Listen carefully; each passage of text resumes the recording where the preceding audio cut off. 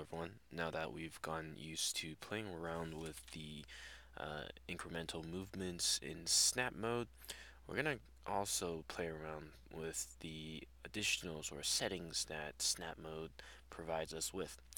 Now again, I'm just going to turn on snap mode, this icon here, the magnet icon, and uh, we're going to click on this sort of icon right beside the magnet icon as you can see, if we click into it, you'll see these other additional settings, these snap elements, as it's called, the volume, face, edge, and vertex.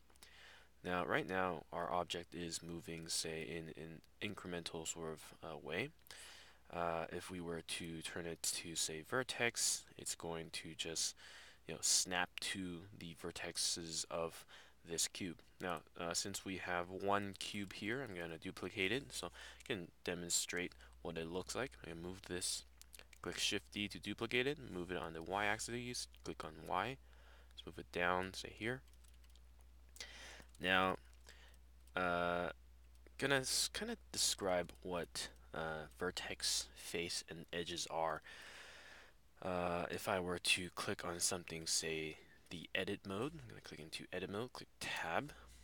Uh, this right now uh, lets us go into this option where we can select individual sort of uh, points right here.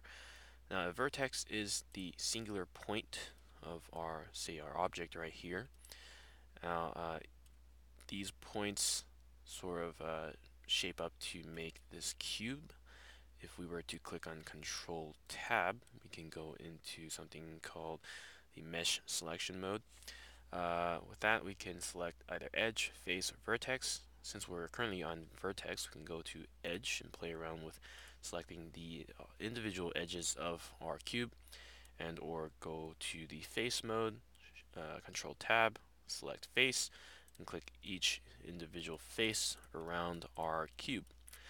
Now, with that done, uh, let's go ahead and sort of move our object. Let's go back into object mode, and simply click on tab, and since we're going to, let's say, test out vertex, we can snap this, say, onto these vertex points right here, as you can see. If you just select that, it will automatically snap to this object's uh, vertex. If I were to, say, move on an x, uh, x axis right now, you can click on these, move it down, let's maybe move it again, snap it there, there. It snaps right to the vertex is basically the same for the edges and faces.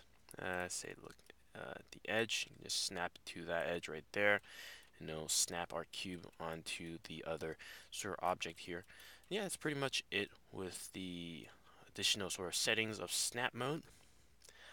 Uh, if there are any issues, you can sort of just play around with it, get used to it, and it will come in handy in the future if you are, you know, uh, wanting to snap an object to another object and sort of uh, combining them together. Yeah, thanks for watching. I'll see you next time.